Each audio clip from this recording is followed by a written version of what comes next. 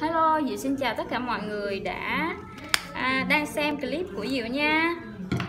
À, Thì bây giờ thì Diệu sẽ vẽ một cái túi to te Và Diệu cũng quay lại cái quá trình mà Diệu vẽ túi luôn cho các bạn xem Diệu sẽ vẽ túi như thế nào nhé. Bây giờ Diệu sẽ dùng một ít màu à, acrylic nha.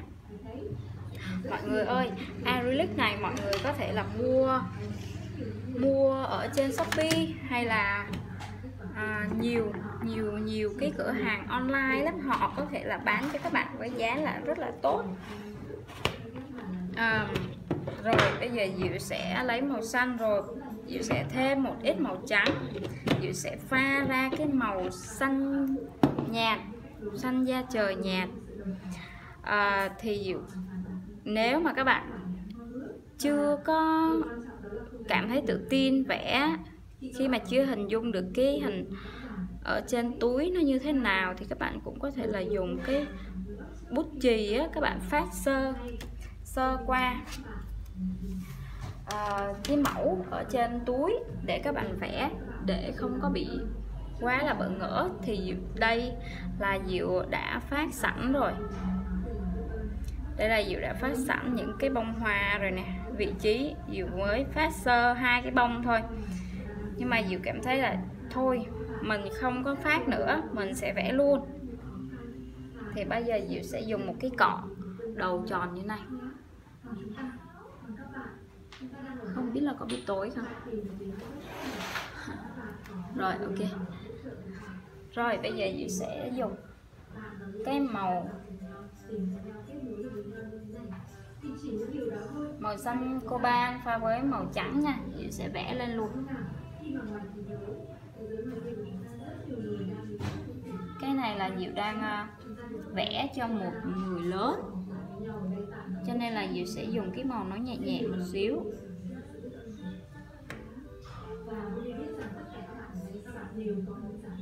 Tí nữa Diệu sẽ pha thêm màu trắng để cho nó, cái hoa này nó bớt xanh nha mọi người. làm chủ kinh tế của các bạn ngay cả khi mọi thứ khởi khi mà mọi người đang lo sợ mất việc lo sợ mất những cái thu nhập duy nhất từ công việc đó thì đã các bạn có thể để học cách tạo ra tài chính cho mình bằng việc bây giờ thì Diệu sẽ cho thêm một xíu màu trắng qua một bên của cái cánh này Diệu sẽ không bôi hết cả cái cánh đâu nha mọi người. Diệu sẽ bôi một mé một bên thôi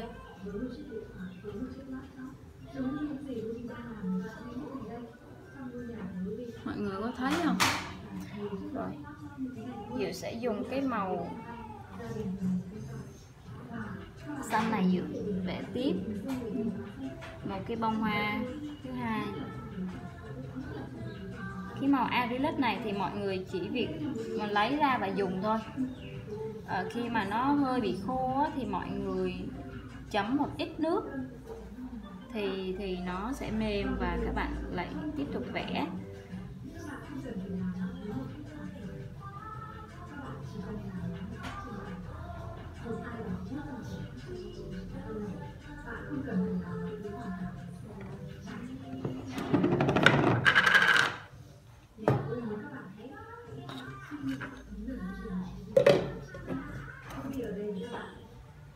Không phải dùng sân khấu một cuộc trường lớn nào cả cũng không cần phải đau to vì làm gì đúng không các bạn nhưng mình ở đây kết nối với các bạn qua cái màn hình tương tác trả lời gọi tên cho bạn lúc nào với hơn ba ngàn người chơi cách này từ nhiều nước trên nó huy động cho giá trị lãnh tạo ra những ảnh hưởng các bạn không nào Diệu sẽ bôi cái này và tí nữa Diệu sẽ phủ màu trắng lên tiếp.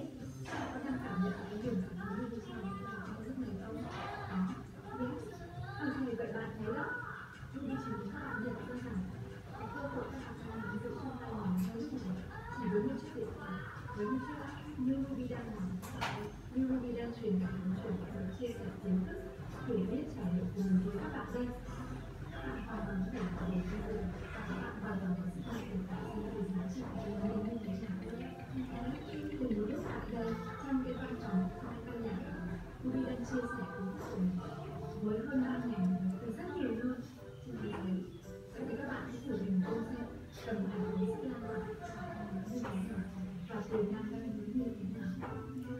chỉ cần các bạn cho mình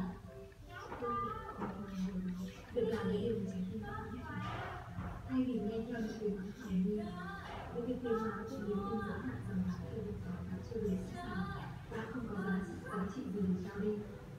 Cái tiếng nói đó bạn đã nghe quá nhiều nghe rồi. Phải không nào, giờ là lúc bạn cần tìm một người bạn mới để cái tiếng nói của bạn sự đồng hành cái tiếng nói là chỉ nhân là bạn thực sự